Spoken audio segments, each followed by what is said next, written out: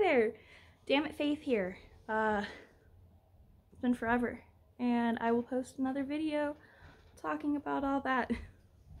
and about the last two songs I released, which were Arts, which I want to work on more, but I really like the idea of it. It's kind of just the theme of uh, impulsive thoughts, you know? Write, write what comes to mind and sing. and that's what I did. And then there was the song FAC, F-A-C, uh, because you can't spell fuck with music, so haha. Um, and I'll talk about those in the next video, but today I'm here, my ukulele, and I am going to be playing a song I wrote in the last few days. Um, I haven't come up with any words yet, but I am just obsessed with the song already. Música